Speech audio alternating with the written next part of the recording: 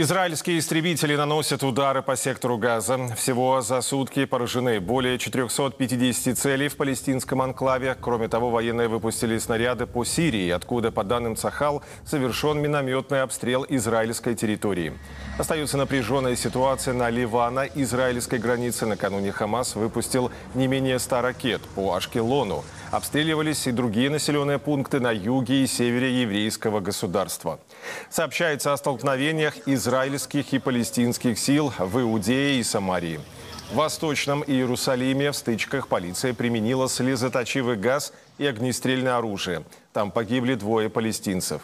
Всего же число жертв конфликта в Израиле превысило 1200. В секторе Газа погибло 900 человек. Как сообщил МИД Палестины, Израиль при обстреле анклава применил снаряды с белым фосфором, при том, что использование этого оружия запрещено.